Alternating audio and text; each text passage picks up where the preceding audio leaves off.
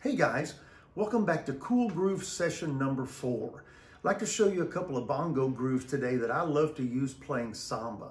The first one is going to outline the rhythm that my drum set player will use in his right foot, the surdo beat basically. The second one will outline the samba clave. So check these two little grooves out. I think you'll dig them and they're fun to play.